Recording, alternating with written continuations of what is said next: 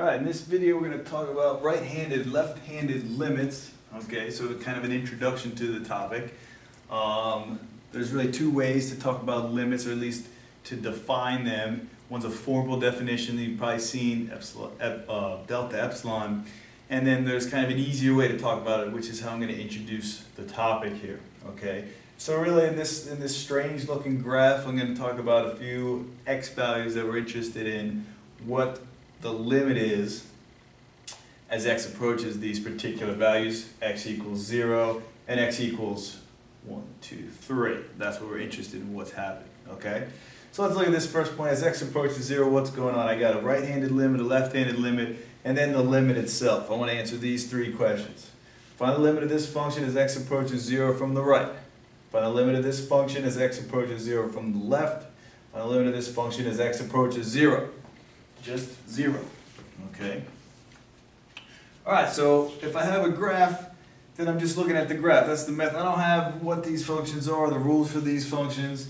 Um, it would be, I guess, piecewise defined if I did, but I'm just looking at the graph and I'm asked to find these answers by looking at the graph to kind of help understand what a limit is, okay?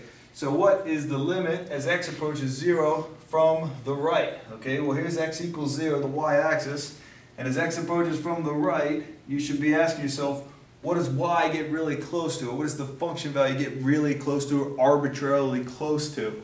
So just kind of follow your function values, right? As x approaches 0, where's y? y is getting really close to the y value right here. That's negative 2.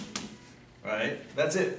f of, f of 0 doesn't equal negative 2 right? But if you come in from this side, you get very close to negative 2.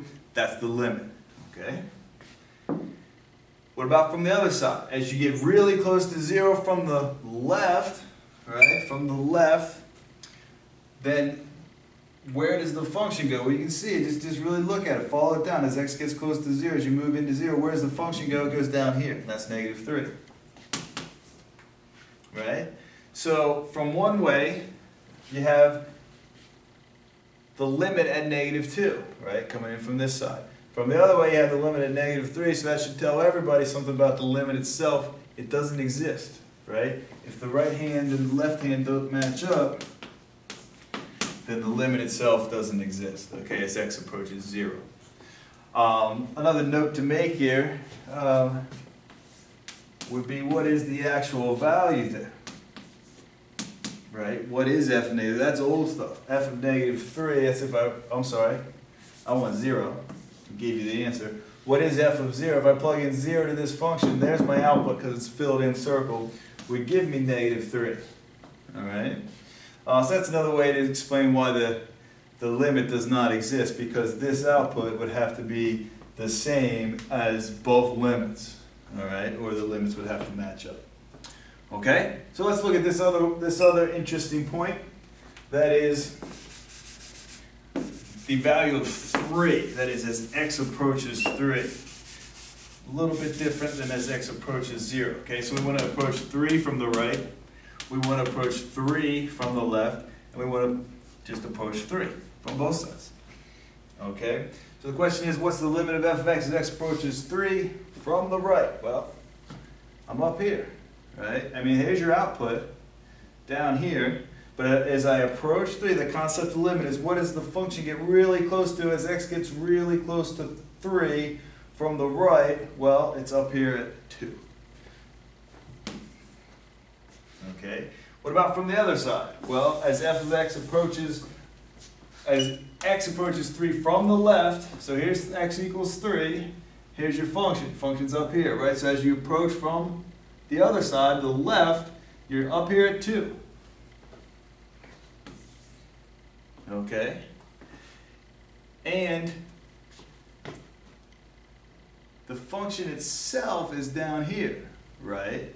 That doesn't matter because the limit is up here.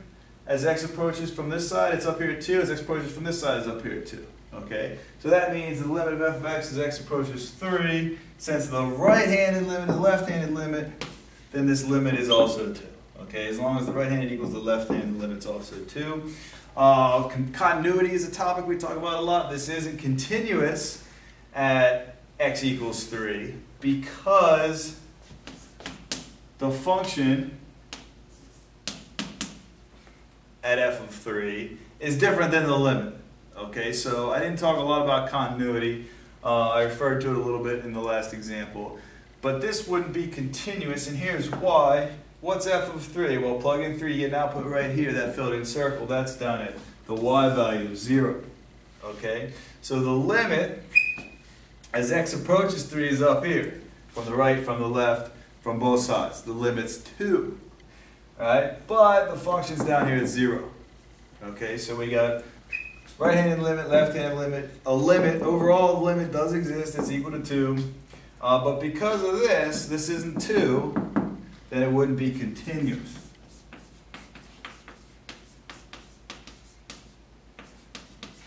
For that particular value of x, x equals 3.